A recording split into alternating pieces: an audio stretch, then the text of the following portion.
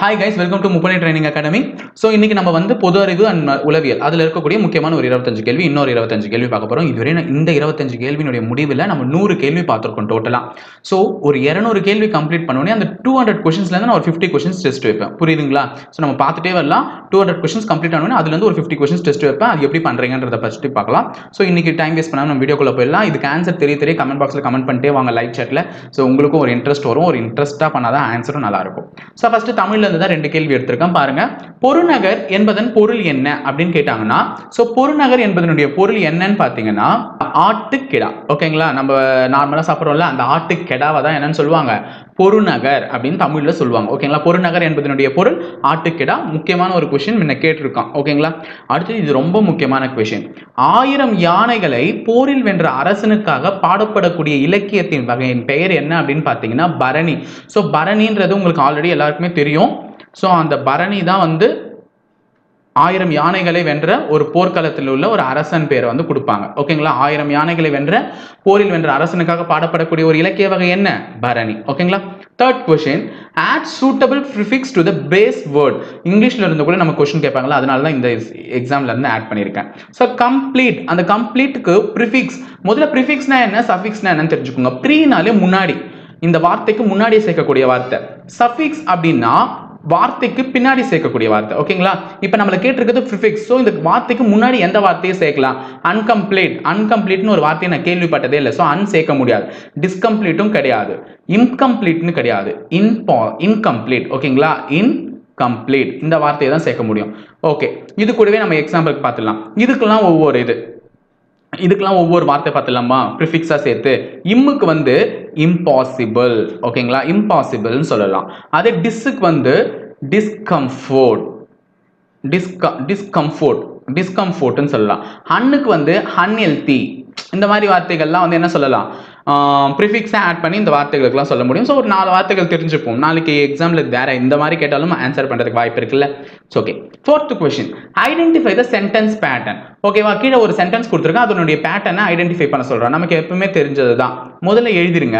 So ஒரு வா ஒரு சென்டென்ஸ்னு இருந்தால் அதில் சப்ஜெக்ட்னு இருக்கும். சப்ஜெக்ட்னா என்ன? நவுனை தான் நம்ம சப்ஜெக்ட்னு சொல்லுவோம். இதில் நவுன் எதுன்னு பார்த்தீங்கன்னா I I is the noun so இது வந்து ஒரு சப்ஜெக்ட் ஓகேங்களா நான் நான் நடந்து செல்கிறேன் அப்படின்னு சொல்லியிருக்காங்க.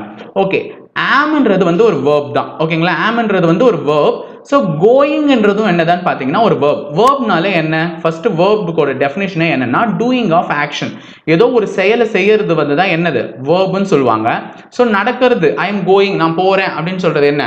ஒரு verb so I am going subject plus verb so answer வந்து சப்ஜெக்ட் ப்ளஸ் வேர்ப் அடுத்தது ஃபிஃப்த் கொஷின் கீழ்கண்டவற்றில் பூச்சியை உண்ணும் தாவரம் எது அப்படின்னு பார்த்தீங்கன்னா நெப்பந்தஸ். ஓகேங்களா? நெப்பந்தஸ் தான் பூச்சியை உண்ணும் தாவரம். ஸோ கஸ்குட்டான்றது இல்லை நெப்பந்தஸ். நெப்பந்தஸ் தான் பூச்சியை உண்ணும் தாவரம். கரெக்டாக போட்டிருக்கீங்க. குட் அடுத்தது எந்திர ஆற்றலை மின் ஆற்றலாக மாற்றும். தட் மீன்ஸ் மெக்கானிக்கல் எனர்ஜியை எலக்ட்ரிக்கல் எனர்ஜியா மாற்றக்கூடிய டிவைஸ் எதுன்னு கேட்குறான் அதாவது மெக்கானிக்கல் எனர்ஜியை எலக்ட்ரிக்கல் எனர்ஜியா மாற்றணும் நான் ஒரு எக்ஸாம்பிளோட சொல்றேன். மறக்கவே மறக்காதீங்க. ஸோ இதனுடைய ஆன்சர் வந்து எதுன்னு பார்த்தீங்கன்னா மின்னியேட்ரி இந்த மின்னியேட்ரினா என்னன்னு பார்த்தீங்கன்னா ஜென்ரேட்டர் ஓகேங்களா?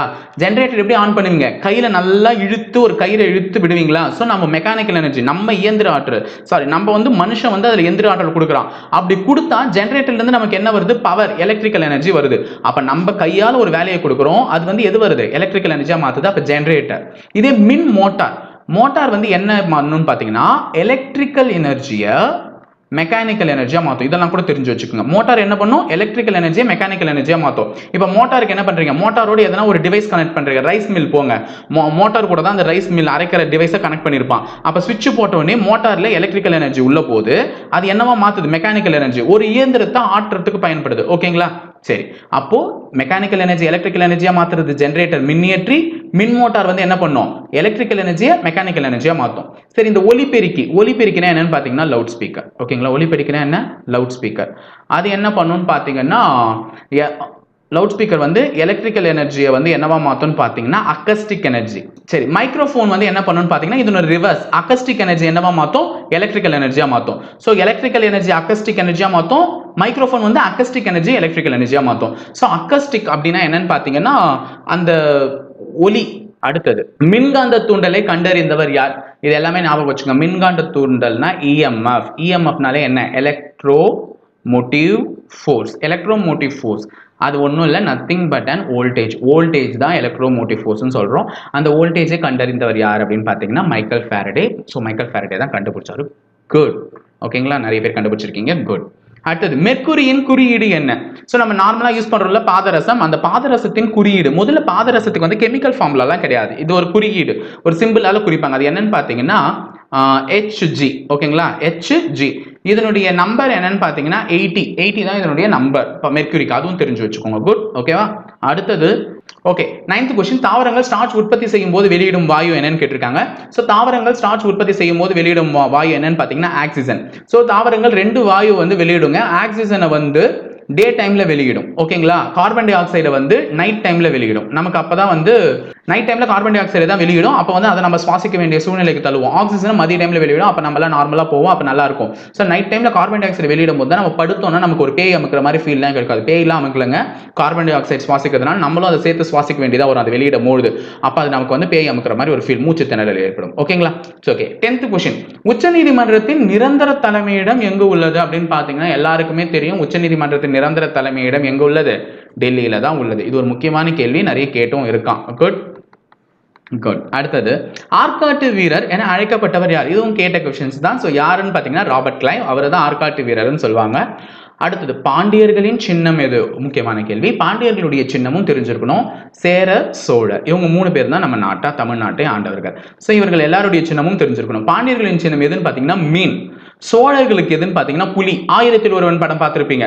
ஸோ ஆயிரத்தில் ஒருவன் படத்தில் காத்தி அவன் பின்னாடி புலி சின்னத்தை காமிக்கும் போது தான் அவன் சோழ குலத்திலிருந்து வந்தவன் அப்படின்னு சொல்லிட்டு ப்ரூஃப் ஆயிருக்கும். ஸோ அந்த படத்தை ஞாபகம் வச்சுக்கோங்க. சோழர்களுடைய சின்னம் புலி. சேரர்களுக்கு என்னன்னு பார்த்தீங்கன்னா வில்லம்பு. அப்போ மீன் தான் பாண்டியர்களுடைய சின்னம். ஓகேங்களா? பதிமூணாவது கொஸ்டின் இல்லாமா வங்க பிரிவினை நடந்த ஆண்டு என்ன? வங்க பிரிவினை பெங்கால். பார்ட்டிஷன் ஆஃப் பெங்கால் அப்படின்னு சொல்லுவாங்க. பெங்கால் பார்ட்டிஷன் நடந்தது எப்போன்னு கேட்டிருக்கான். ஸோ பெங்கால் பார்ட்டிஷன் நடந்தது ஆயிரத்தி தொள்ளாயிரத்தி ஐந்தாம் வருடம். ஸோ பெங்கால் பெங்கால்ன்றது ஐந்து லெட்டர் வார்த்தை. ஸோ அஞ்சில் தான் முடிஞ்சிருக்கும். ஆயிரத்தி தொள்ளாயிரத்தி அஞ்சு. ஓகேவா சரி. இந்திய அரசியல் அமைப்பு வரைவு குழுவின் தலைவர் யார்? நம்ம தெரியும். இந்தியன் கான்ஸ்டியூஷனை யார் எழுதுனாங்கன்னு இதுக்கு முன்னாடி வீடியோலையும் நான் சொல்லியிருக்கேன். அடாப்ட் பண்ணது எப்போன்னு சொல்லியிருக்கேன். ஓகேங்களா இந்தியன் கான்ஸ்டியூஷன் அடாப்ட் பண்ணது எப்போ? Twenty sixth January nineteen fifty குடியரசு தினத்தன்னைக்கு தான் ஸோ அதை எழுதுனது யாருன்னு பார்த்தீங்கன்னா டாக்டர் அம்பேத்கர். அம்பேத்கர் தான் அதை எழுதினார். வரைவு குழுவின் தலைவரே அவர் தான் சிப்பாய் கழகம் எந்த ஆண்டு நடைபெற்றது? வெள்ளூர் மக்களுக்கெல்லாம் இது ஒரு புதிய கேள்வியே கிடையாது. சிப்பாய் முட்டி நடைபெற்ற ஆண்டு வந்து எப்பன்னு பார்த்தீங்கன்னா ஆயிரத்தி எட்நூத்தி ஐம்பத்தி ஏழு. ஓகே இதுவரையும் நம்ம வந்து ஜெனரல் நாலேஜ் கொஸ்டின்ஸ் முடிச்சிட்டோம். இப்போ நம்ம ரீசனிங் போக போகிறோம் உளவியல் சம்பந்தப்பட்ட கொஸ்டின் கீழ்கண்டவற்றில் எது ஒரு முக்கோணத்தின் கோணங்களாக அமைய வாய்ப்புள்ளது? இங்க பாருங்க நிறைய டிகிரிஸ்லாம் கொடுத்துருக்கான். ஸோ இது எது வந்து முக்கோணத்தின் கோணங்கள்லாம் அமையணும்னா முதல்ல தெரிஞ்சுக்கோங்க. ட்ரையாங்கிளுடைய மூணு கோணத்தையும் கூட்டினா நமக்கு எவ்வளோ டிகிரி வரணும்னு சொல்லியிருக்கேன். ஒன் எயிட்டி டிகிரி வரணும்னு சொல்லியிருக்கேன். அப்போ எதை கூட்டினா உங்களுக்கு ஒன் எயிட்டி வருதோ அதுதான் ஆன்சர் ஸோ இதில் எல்லாத்தையுமே கூட்டி பாருங்க. பி ஆப்ஷன் கூட்டும் போது தான் உங்களுக்கு ஒன் எயிட்டி டிகிரி வரும். ஸோ ஆன்சர் இஸ் பி ஓகேங்களா சரியா? அடுத்தது வட்டத்தின் மைய கோணம் ஒரு வட்டம் இருக்கு. இந்த வட்டத்தினுடைய மைய கோணம் எவ்வளோ அப்படின்னு பார்த்தீங்கன்னா இங்க இருந்து நீங்க சுத்தி வரீங்க. இந்த வட்டத்தில் இது ஃபுல்லாக ஒரு ரவுண்ட் அடிக்கிறீங்கன்னா எவ்வளோ கோணம்? முந்நூற்றி அறுபது டிகிரி வட்டத்தின் மைய கோணம் முந்நூற்றி அறுபது டிகிரி ஓகே படத்தில் எக்ஸின் மதிப்பை காண்க. இங்கே பாருங்கள் இந்த இடத்துல எக்ஸ் கொடுத்துருக்கேன். இந்த எக்ஸினுடைய மதிப்பு தான் என்னன்னு கேட்குறேன் ஸோ இந்த மாதிரி ஒரு டப்பா கட்டி கொடுத்துருந்தாலே ஒன்று இந்த பக்கம் எல்லா டிஜிட்டையும் ஆட் பண்ணால் ரிசல்ட்டு ஒன்றா வரும். ஓகேங்களா இல்லையா? இப்படி ஆட் பண்ணால் ரிசல்ட் என்ன வரும்? ஒன்றா வரும். நம்ம இதில் எந்த பக்கம் ஆட் பண்ணால் வருதுன்றதை தான் பார்க்க போகிறோம் இப்போ எயிட் ப்ளஸ் சிக்ஸ் வந்து ஃபோர்டீன் ஃபோர்டீன் ப்ளஸ் ஒன் வந்து ஃபிஃப்டீன் அப்போ மேலே இருக்கிற ரோவை ஆட் பண்ணால் எனக்கு பதினஞ்சு கிடச்சிச்சு. இப்போ நடுவில் இருக்கிறது பாருங்கள் ஏழையும் மூணையும் கூட்டினா பதினஞ்சு. ஸோ சாரி பத்து பத்தோட ஒரு அஞ்சு கூட்டினா பதினஞ்சு. ஓகே இதையும் பதினஞ்சு வந்துருச்சு அப்போ இங்கே பாருங்க நாலையும் ஒன்பதையும் கூட்டுறேன். பதிமூணு வந்திருக்கா? அப்போ பதிமூணோட எந்த நம்பர் கூட்டினா பதினஞ்சு வரும்னா ரெண்டு. ஸோ மூணாவது ஒரு பதினஞ்சு வரணும்னா நான் அது கூட ரெண்டு தான் கூட்டியிருக்கணும். ஸோ ஆன்சர் டூ அடுத்தது நைன்டீன்த் கொஷின் ஒருவன் உன்னுடைய நெருங்கிய நண்பனாக இருக்க வேண்டும் என்றால் அவன் என்ன செய்ய வேண்டும்? அப்படின்னு கேட்டிருக்கேன். இது ஒரு சைக்காலஜி நேற்றுலேருந்து இருந்து பார்க்குறோம் இந்த மாதிரி கொஷின்ஸை ஸோ என்னன்னு பார்த்தீங்கன்னா உனக்கு பணம் தேவைப்படுவது உதவ வேண்டும். ஓகே பண தேவைக்கு உதவுற நண்பன் தான். ஓகே உனக்கு ஒரு ஆபத்து வரும்போது உதவ வேண்டும். குட் உன்னோடு எப்போதும் உடன் இருக்க வேண்டும். என்னோடு எப்போதும் உடன் இருந்தால் அவன் என்னை நெருங்கிய நண்பன்லாம் சொல்ல முடியாது. என்னை காலவாரி விடுறவனும் எப்பவுமே என் கூட உள்ள கூட தான் இருப்பான். ஸோ சி சி கண்டிப்பாக கிடையாது. அடுத்தது உன்னை பாராட்டுகிறவன பாராட்டுகிறவனாக இருக்க வேண்டும். என்னை பாராட்டுறவன்லாம் என் நண்பன் கிடையாது. ஓகேங்களா ஸோ அல்ல கைன்னு சொல்லலாம் அவங்களெல்லாம். அப்போது இந்த ரெண்டு ஆப்ஷனில் தான் ஏதோ ஒரு ஆப்ஷன் அதில் எதுன்னு பார்த்தீங்கன்னா பழமொழியே இருக்குது ஆபத்தில் உதவுவன் தான் ஆபத்தில் உதவுபவனே உதவுபவனே உண்மையான நண்பன் ஒரு பழமொழி இருக்குது கரெக்டாக அப்போ இதனுடைய ஆன்சர் அந்த பழமொழியிலேருந்து எடுத்திருக்கலாம். ஸோ ஆபத்தில் உதவுபவனே உண்மையான நண்பன். So answer is B so twenty question போகலாம் ஒரு சங்கீத மொழியில் இந்த லெட்டர்ஸ் எல்லாம் கிரேப்ஸ்னு எழுதியிருக்காங்களாம். இந்த லெட்டர்ஸ் எல்லாம் முதல்ல எழுதிடலாம் அந்த லெட்டர்ஸ் எல்லாம். Hash sorry slash hash question mark at and star இதை என்னென்னு எழுதியிருக்கான்?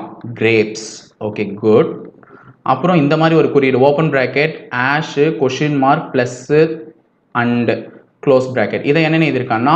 ஆரஞ்ச் அந்த மாதிரி எழுதியிருக்கான். ஓகே குட் இப்போ ஸ்பூனுன்ற வார்த்தையை எப்படி எழுதுவான்னு கேட்குறான். ஸோ இந்த இடத்துல ரெண்டு ஓ இருக்கா? ஓவை என்னென்னு எழுதியிருக்கான்னு பாருங்க. ஓ வந்து ஓப்பன் ப்ராக்கெட் அப்போ ரெண்டு ஓப்பன் ப்ராக்கெட் அந்த இடத்துல எதில் இருக்குன்னா ஏ ஆப்ஷனில் தான் இருக்கும் ஸோ ஆன்சர் இஸ் கே முடிஞ்சிருச்சு. மற்றதெல்லாம் செக் பண்ண வேண்டிய அவசியமே இல்லை. அடுத்தது டுவெண்ட்டி ஃபஸ்ட் கொஸ்டின் ஆங்கில அகராதியில் கீழ்கண்ட நான்கு வார்த்தைகளில் எது இறுதியாக வரும்? ஓகேங்க நாலு வார்த்தை கொடுத்துருக்காங்க. ஃபயர் கொடுத்துருக்கான். ஃபியர் கொடுத்துருக்கான். ஃப்ரீ கொடுத்துருக்கான். அடுத்தது ஃபோர் கொடுத்துருக்கான். ஓகே இந்த நாலு வார்த்தை இருந்துச்சுன்னா எது இதில் லாஸ்ட்டாக வரும்? முதல் லெட்டர் எல்லாத்துலேயுமே எஃப் தான் எழுதியிருக்கான். ஸோ இதை வச்சு நம்ம டிக்ஷனரியில் எது இதில் ஃபஸ்ட் வந்திருக்கும் எது லாஸ்ட்டாக வந்திருக்கும்னு கண்டுபிடிக்க முடியாது. செகண்ட் லெட்டர் பாருங்க இதில் ஐ இருக்கு இதில் இ e இருக்கு இதில் ஆர் இருக்கு இதில் ஓ இருக்கு. அப்போ ஐ இ e, ஆர் ஓ இதில் வச்சு கண்டுபிடிச்சிடலாம்ல. ஸோ ஏபிசிடியில் இ தான் ஃபர்ஸ்ட் வரும். அப்போ ஃபியர் தான் ஃபர்ஸ்ட் வரதுக்கான வாய்ப்பு இருக்கு. அடுத்தது ஐ வரும். ஸோ செகண்டாக வர்றதுக்கான வாய்ப்பு ஃபயருக்கு இருக்கு. அடுத்தது ஓ வரும். ஸோ ஃபோர் தான் தேர்டாக வந்திருக்கும். அப்போ ஆட்டோமேட்டிக்காக ஃப்ரீ தான் ஃபோர்த்தாக வந்திருக்கும். So answer is three good அடுத்தது. ஒன்று முதல் பத்து வரை ஆங்கிலத்தில் எழுதினால் அவற்றுள் இ என்ற வார்த்தை எத்தனை முறை வரும்னு கேட்டிருக்கான். நல்லா பாருங்க. ஒன் இங்கிலீஷில் எழுதணும்.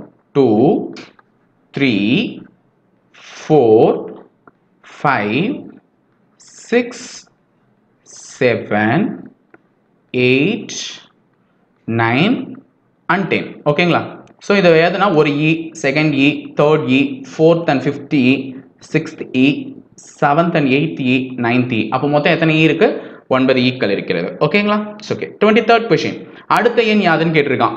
ஆறு பதினொன்று இருபத்தொன்று முப்பத்தி ஆறு ஐம்பத்தி ஆறு அப்படின்னு கொடுத்துட்டு கொஸ்டின் மார்க் கொடுத்துருக்கான். ஸோ இந்த ரெண்டு நம்பருக்குள்ள வித்தியாசம் செக் பண்ணிருங்க. ஆறுக்கு அடுத்து பதினொன்று வந்திருக்கான். எவ்வளோ வித்தியாசம்? அஞ்சு. பதினொன்றுக்கு அடுத்து இருபத்தி ஒன்று வந்திருக்குன்னா எவ்வளோ வித்தியாசம்? பத்து. அடுத்தது பதினஞ்சு.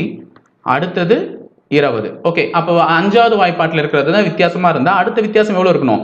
இருபத்தஞ்சு இருக்கணும். ஸோ ஆட் பண்ணால் இந்த இடத்துல என்ன வரணும்னு பார்த்தீங்கன்னா ஆறு அஞ்சு ஒரு பதினொன்று அஞ்சு ஆறு ஏழு எட்டு எண்பத்தி ஒன்று வந்திருக்கணுங்க. So answer is eighty one good அடுத்தது கீழே கொடுக்கப்பட்டுள்ள படத்தில் குடும்பம் மகன் மகள் மூவரின் உறவை குறிக்கும் படம். இப்போ ஒரு குடும்பம் மகன் மகள். அது உறவை குறிக்கும் படம் பி தான். இங்கே பாருங்க பார்த்தாலே தெரியுது.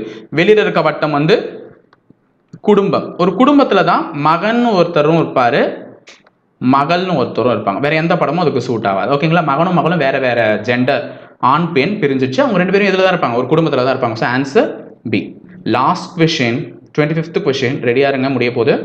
ஸோ எல்லா சிறைவாசிகளும் ஆண்கள் எந்த ஆணும் படிக்கவில்லை? இங்கே கொடுத்துருக்கான் ரெண்டு கூற்று கொடுத்துருக்கான். எல்லா சிறைவாசிகளும் ஆண்கள் எந்த ஆணும் படிக்கவில்லைன்னு ரெண்டு கூத்துருக்கான். கூற்று கொடுத்துருக்கான். இந்த ரெண்டு கூற்றின்படி எந்த விடை சரியானதுன்னு கேட்கறான் ஃபர்ஸ்ட் இதுக்கு படம் வரைஞ்சுக்கோங்க. எல்லா சிறைவாசிகளும் ஆண்கள்னா சிறைவாசிகள். எல்லாருமே யாரு? ஆண்கள். ஓகேங்களா? சிறைவாசிகள் எல்லாம் ஆண்களுக்குள்ள போட்டேன். எந்த ஆணும் படிக்கவில்லைன்னா ஆண்கள் யாருமே என்ன பண்ணல? படிக்கல. அப்போ போட்டேன். ஓகேங்களா? இப்போ இதை படி ஃபர்ஸ்ட் ஸ்டேட்மெண்ட் படிக்கலாம். ஃபர்ஸ்ட் என்ன கொடுத்துருக்காங்க? ஏ ஆப்ஷன் எந்த சிறைவாசியும் படிக்கவில்லை. எந்த ஆண்களும் படிக்கவில்லைன்னு சொல்லிட்டாங்களா? அப்போ ஆண்களுக்குள்ள தானே சிறைவாசிகள் இருக்காங்க. அப்போ எந்த சிறைவாசியும் கண்டிப்பாக என்ன பண்ணியிருக்க மாட்டான்? படிச்சிருக்க மாட்டான். ஸோ ஃபர்ஸ்ட் ஆப்ஷனே கரெக்ட் தான். ஓகேங்களா அடுத்தது பெண் சிறைவாசிகள் கிடையாது. ஆமாம் எல்லா சிறைவாசிகளும் ஆண்கள்னு சொல்லிட்டாங்களே சார் அப்போ பெண் சிறைவாசிகள் கிடையாது. அதுவும் உண்மைதானே சார்ன்னு சொல்லாதீங்க.